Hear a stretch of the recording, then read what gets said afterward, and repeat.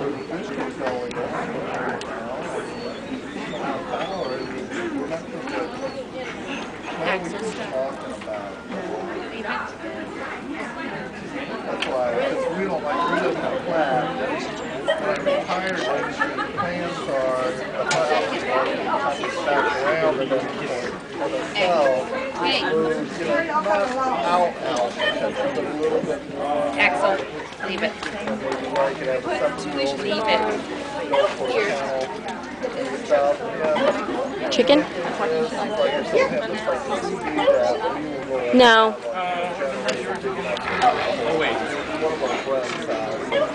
I just just tell them.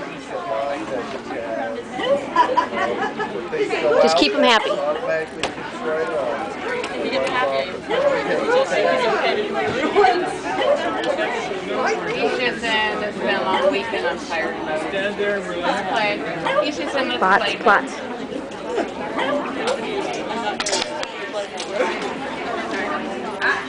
Hey.